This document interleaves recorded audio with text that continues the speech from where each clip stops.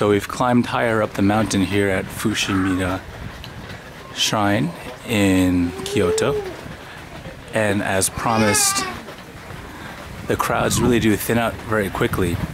So if you are looking for that perfect Instagram shot of the Vermilion Red Gates, my suggestion is to climb up higher and higher until you've got the gates all to yourself.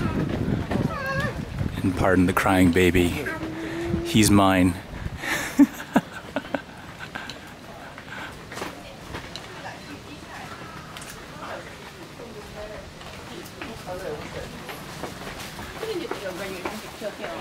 The other suggestion I have is to every so often poke your head out from between these pillars because the other really great shot here is from outside the gates.